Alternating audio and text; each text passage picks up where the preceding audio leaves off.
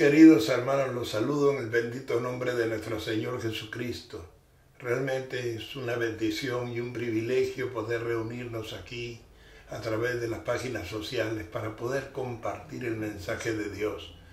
Decirles también que en esta madrugada tuvimos la oportunidad de estar reunidos muchos de la congregación a través del Zoom en una maravillosa vigilia que hemos tenido en esta madrugada.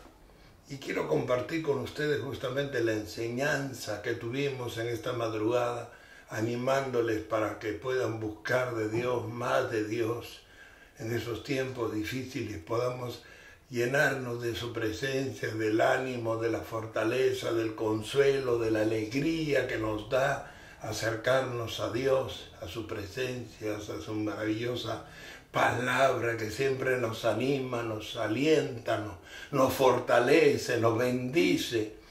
Así que vamos a compartir el mensaje de este día. Dice la palabra de Dios en el libro de los Efesios capítulo 2, 13.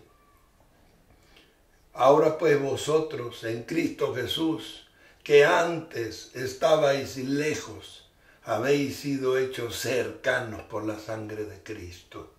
Vamos a orar para que el Señor nos hable.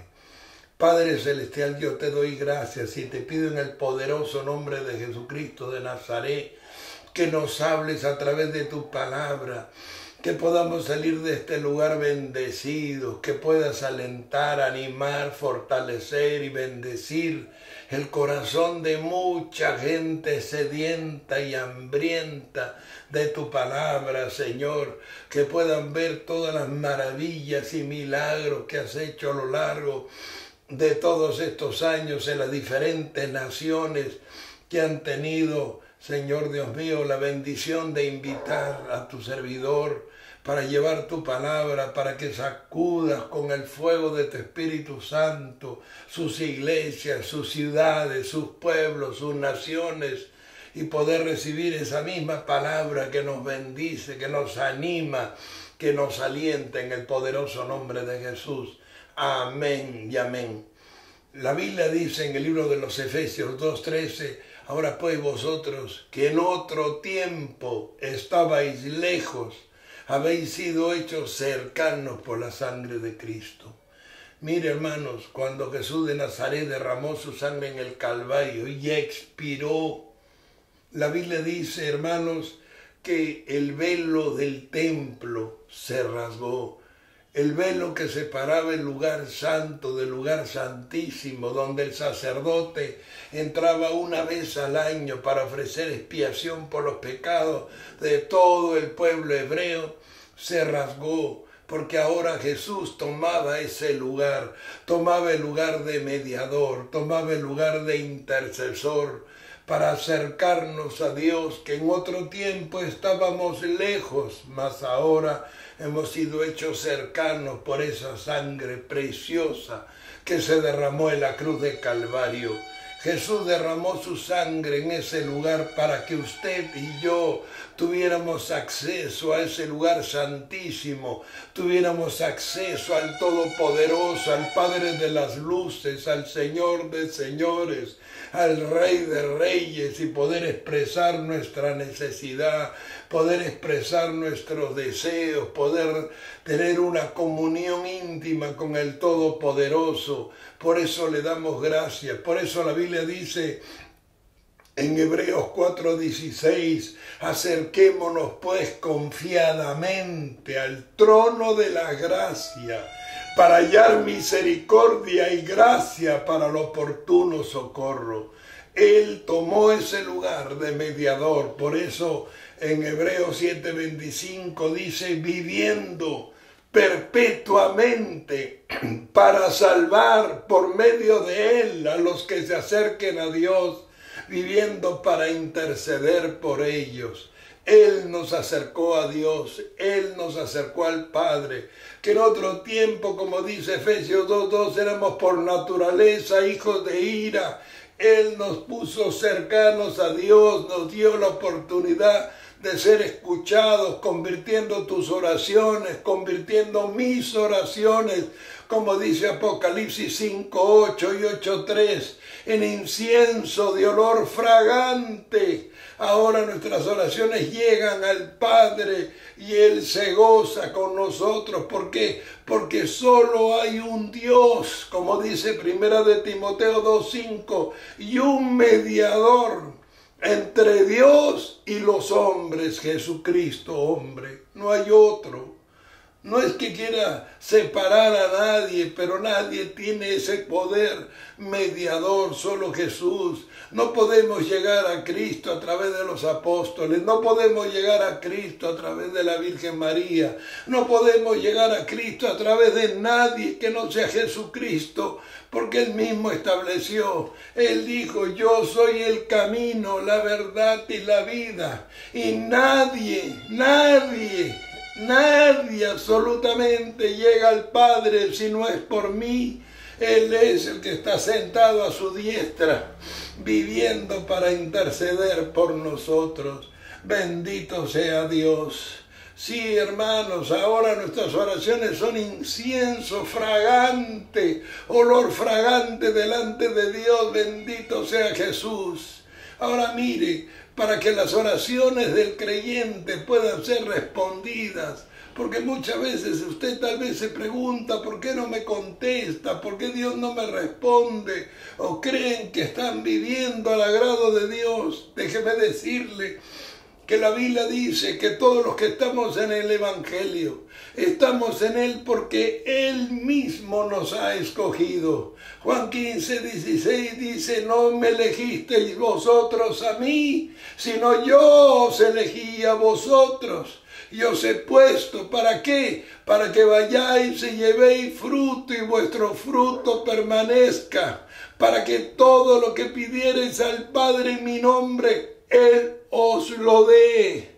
Pero es necesario para que Él nos dé todo lo que necesitamos, todo lo que anhela nuestro corazón, todo lo que ansía mi alma, que demos fruto. Esos frutos tenemos que producirlos, como dice en segunda de Pedro 1, 5, 6 y 7. Añadid a vuestra fe, virtud, conocimiento, dominio propio, paciencia, piedad, afecto fraternal, amor estas cosas son necesarias. Tenemos que producir frutos y para producir frutos tenemos que echar mano de su poder. Es importante que la iglesia entienda, hoy casi ya no se habla de los dones espirituales. Ya no se habla del poder del Espíritu Santo. Por eso cuando ven las manifestaciones sobrenaturales dicen, Dios es orden, Dios es esto, Dios es aquello. Ellos tienen un concepto preconcebido de lo que creen que es Dios. Pero en realidad Dios es todopoderoso. Él bautiza, liberta, sacude, bendice, rompe cadenas, saca demonios, sana enfermos. Todo eso nunca cambió ni cambiará jamás. Por eso, ¿y cómo se recibe esta bendición? A través de la oración, hermanos. En el libro de Crónicas 16, 11 dice, buscad a Jehová y su poder, buscad su rostro constantemente. Y en el libro de Jeremías 33, 3 dice, clama a mí, yo te responderé y te enseñaré cosas grandes y ocultas. Los dones espirituales también son la fuente por la cual a través de la oración se recibe Dice en Primera de Corintios 12:31, procurad los dones mejores. La palabra procurad significa buscar. ¿Y cómo vas a buscar esos dones? Solo por oración, solo con la oración y el quebranto y la humillación.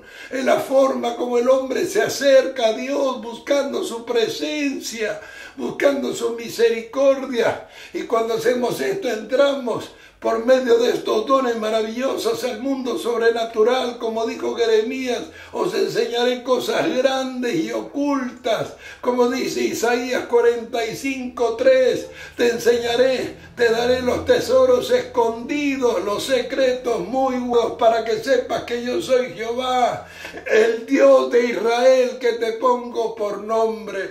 Primera de Corintios 2, 9 y 10 cosas Antes bien cosas que ojo no vio, ni oído yo, ni han subido en corazón de hombre, son las que Dios ha reservado para los que le aman. ¿Y quiénes son los que le aman? Los que guardan su palabra y los que buscan su rostro y establecen una poderosa y fuerte comunión con Dios. Es tan necesario que entendamos esto, hermanos. Es tan importante que nos demos cuenta que el mundo no gira en torno a lo que puedes conseguir, comprar, adquirir, buscar. Por eso en Filipenses 4:6 dice, por nada estéis afanosos, por nada. A veces el afán del hombre hace que busque menos de Dios, porque piensa que con su fuerza lo va a lograr. Dice, por nada estéis afanosos, sino sean conocidas vuestras peticiones delante de Dios. Y como dice Filipenses 4:19, Él nos dará conforme a las riquezas de su gloria todo lo que usted necesita. Pero para eso tiene que entender que no se basa, nuestra vida cristiana no se basa, nuestras oraciones no se basan en la añadidura. La Biblia dice, buscad el reino de Dios y su justicia y todo lo demás vendrá por añadidura, pues Él sabe de qué tenemos necesidad antes de que se lo pidamos.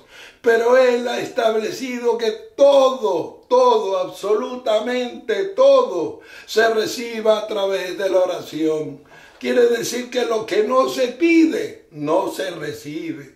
Y muchas veces la escasez en las iglesias, muchas veces la escasez en la vida de los cristianos, en la casa de los cristianos, es porque no se lo han pedido, porque no le han pedido lo que realmente necesitan. Es que Dios no funciona como algunos creen.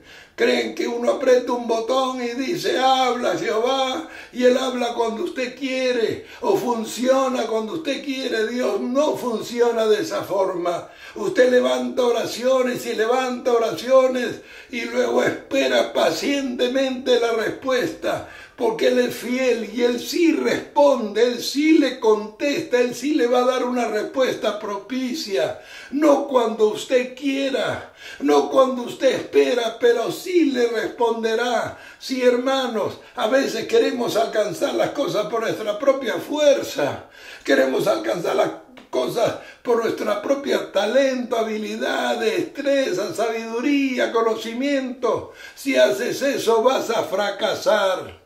¿Sabes por qué? Y la Biblia lo dice. En el libro de Santiago 4.2 dice, codiciáis y no tenéis. Matáis y ardéis de envidia y no podéis alcanzar. Lucháis y combatís y no tenéis lo que deseáis porque no pedís.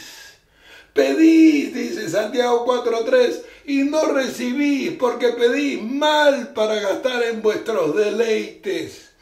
¿Qué significa esto, hermano? Que si Dios no da la orden, que si Dios no bendice, no vas a recibir nada. No importa cuánto luches, cuánto te esfuerzas, de Él depende que se abran las puertas, de Él depende que se cierren, de Él depende que te pongan alto, de Él depende que seas cabeza y no cola. No depende de usted, de su habilidad, de su conocimiento, de su destreza ni de nada lo que tiene que ver con usted. Depende de que Dios quiera, hermanos. Él tiene el control. Ni las hojas de los árboles se mueven si no es por la voluntad de Dios. Y cuando dice pedís mal, significa, hermanos, que todo lo que pedimos tiene que ser hecho conforme al corazón de Dios.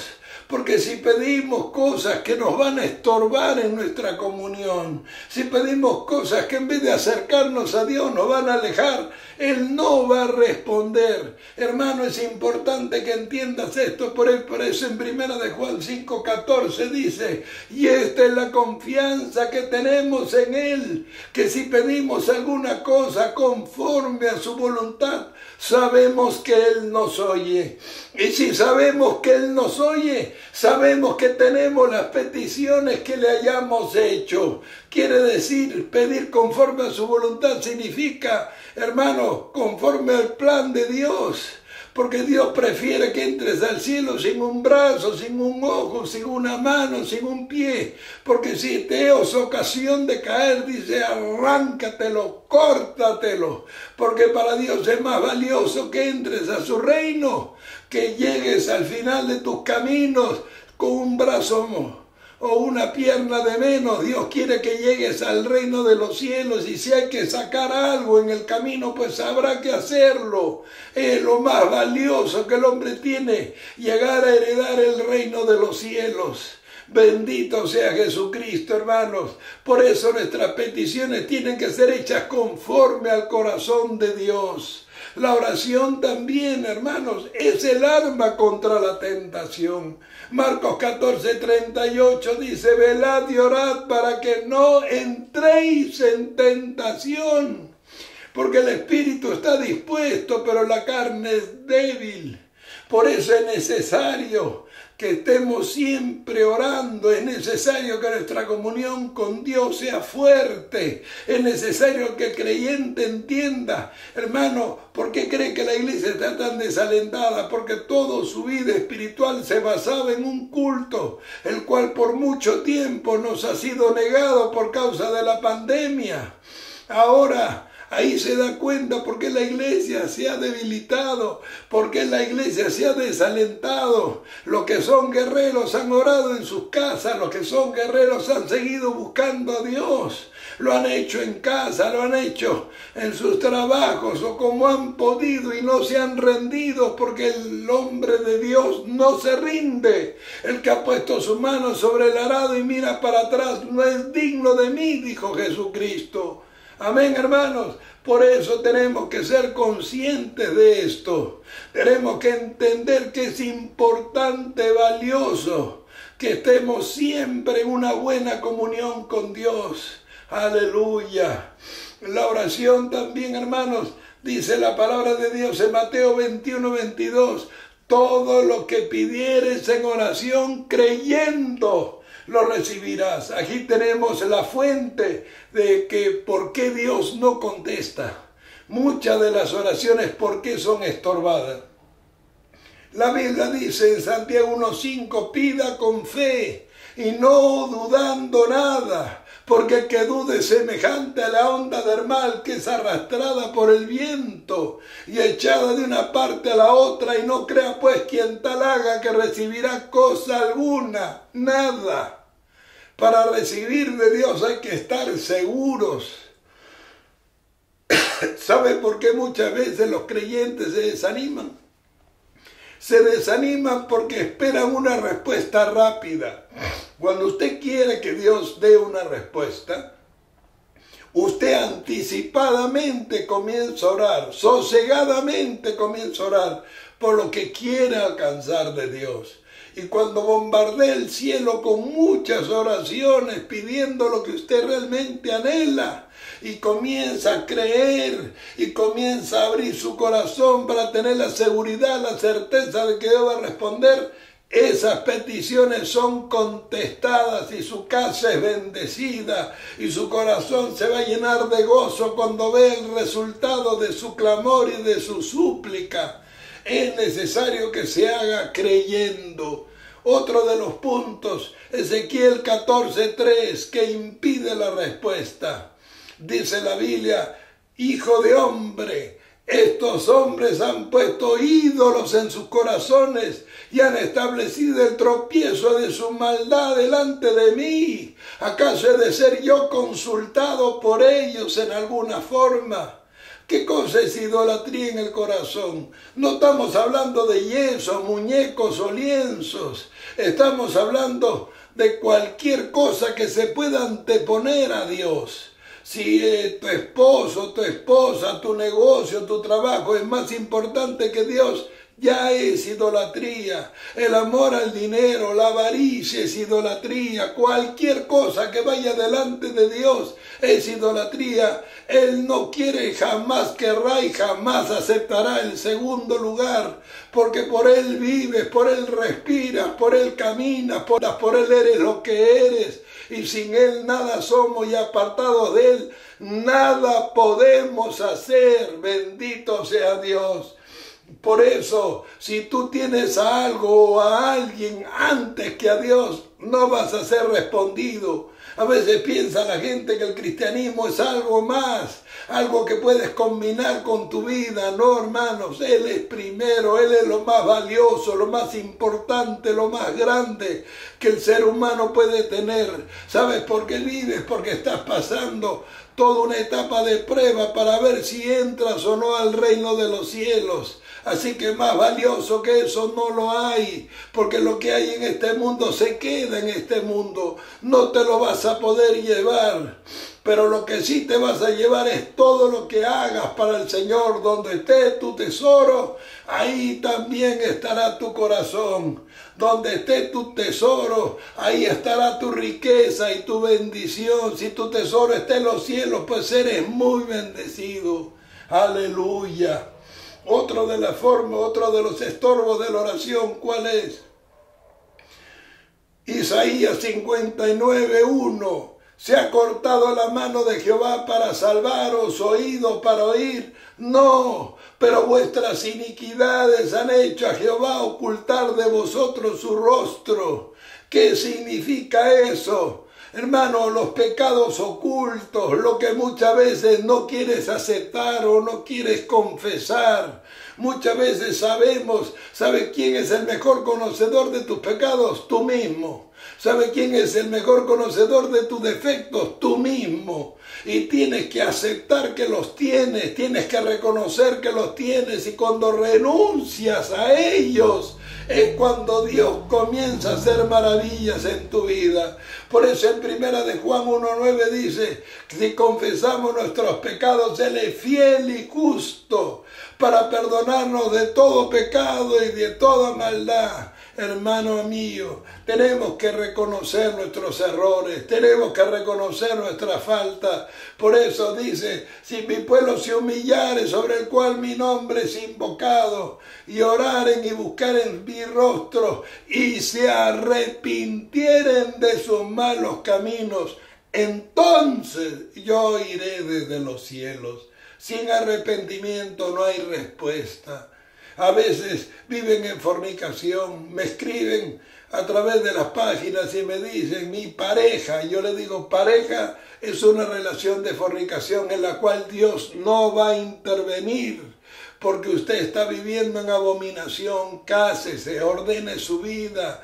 Muchas veces vivimos en mentira, en robo, en estafa, en engaños, con una doble vida y cosas como estas. Hermano, cree que va a esconderse de Dios, cree que Dios no ve cómo usted vive, cree que Dios no sabe lo que usted hace en secreto, Él lo sabe todo, Él es omnisciente, omnipotente y omnipresente, y Él lo ve todo, sus siete ojos que están sobre esta tierra lo ven todo. Arrepiéntase y va a ver cómo sus oraciones recibirán una poderosa respuesta de todas las cosas que usted sabe que no están bien. Aleluya.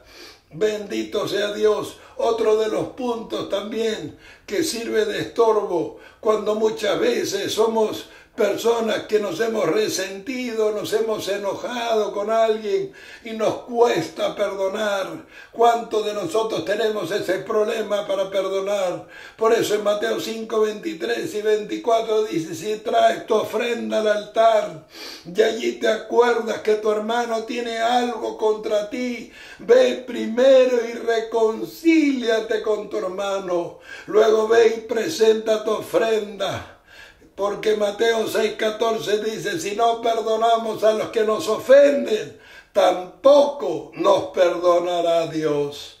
Y eso es algo que usted tiene que entender.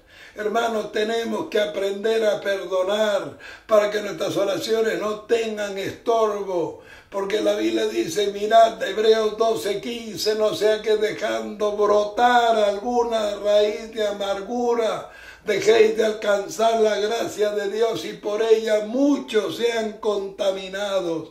Hasta la salvación la puedes perder, porque la Biblia dice que al que aborrece a su hermano es homicida. Así que tienes que ponerte a cuenta. Cuando vienes a la iglesia no puedes venir peleado, no puedes venir discutido con tu esposa, no puedes venir discutido con tus hijos. Tienes que ponerte a cuentas, tienes que arreglar las cosas que hiciste mal, tienes que ordenar tus caminos para que tus oraciones sean respondidas.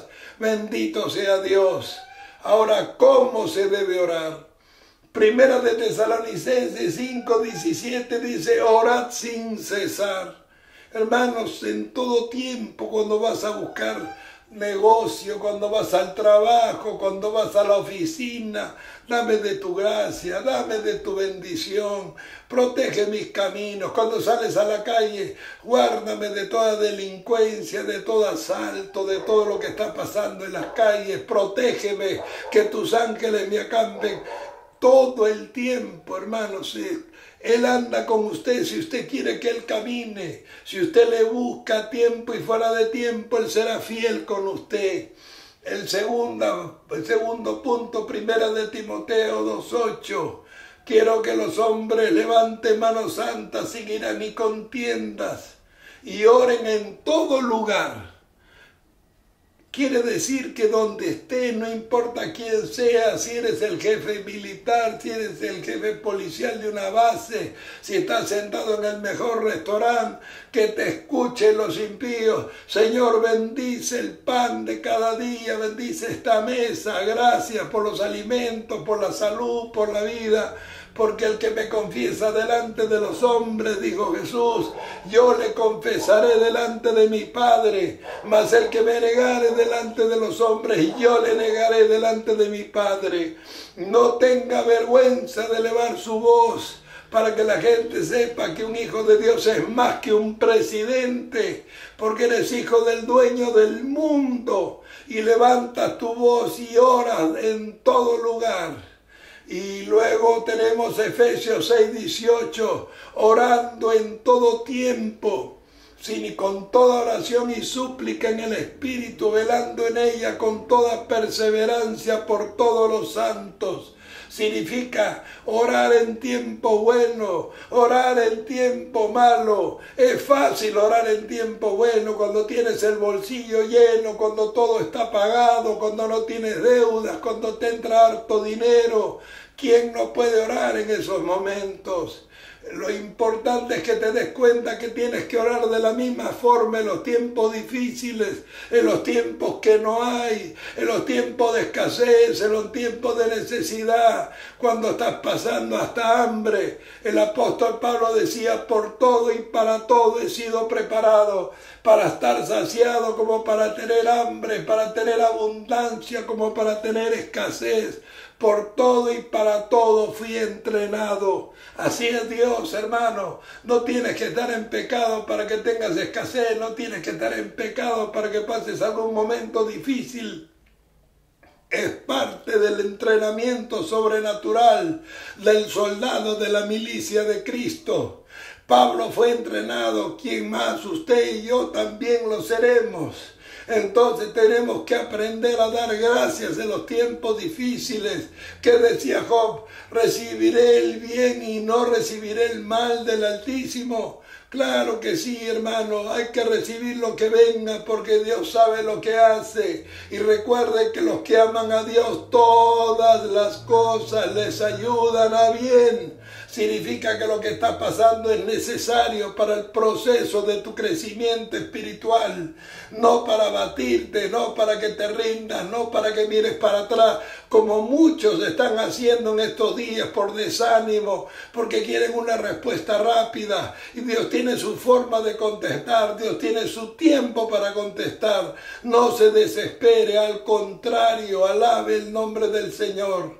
Y otro de los puntos trascendentes, como dice la Biblia en el libro de Colosenses capítulo 4, 2, hay tiempo para pedir y hay tiempo para agradecer. Si usted pide y pide y pide y solo pide, significa que cree que Dios no le ha escuchado. Sí, hermano, si yo he orado por algo sosegadamente, tiempo bastante prolongado, y hasta he ayunado por eso, y yo creo que Dios ya me escuchó, entonces tengo que comenzar a agradecer. Por eso dice Colosenses 4.2, perseverad en la oración con acción de gracias. ¿Qué es la acción de gracias? Como dice Romanos 4:17, llamando a las cosas que no son como si fuesen.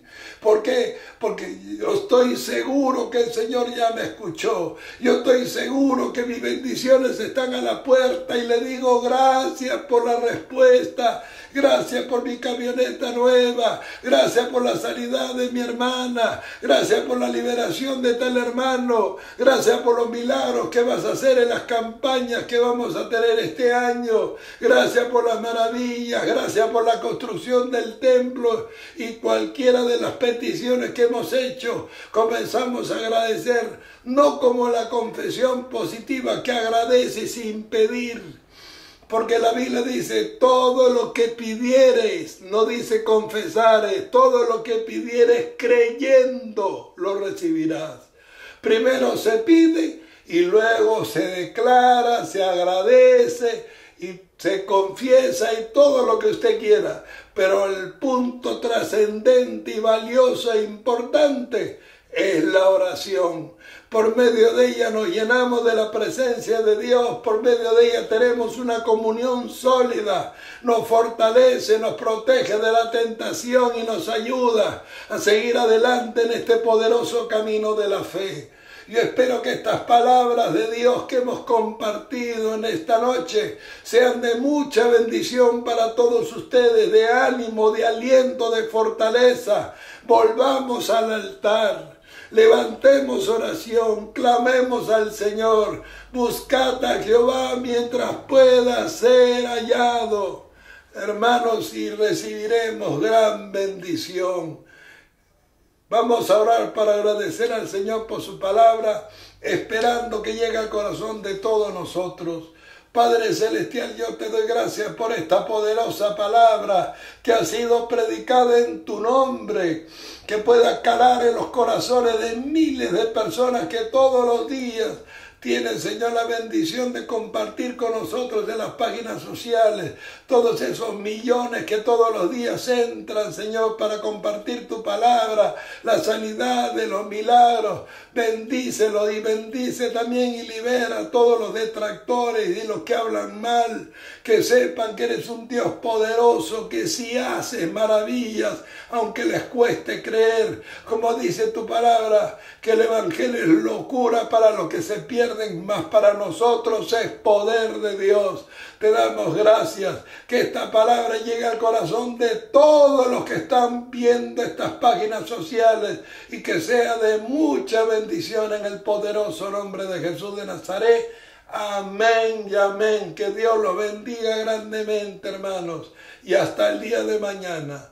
Aleluya. En el nombre de Jesús. Amén.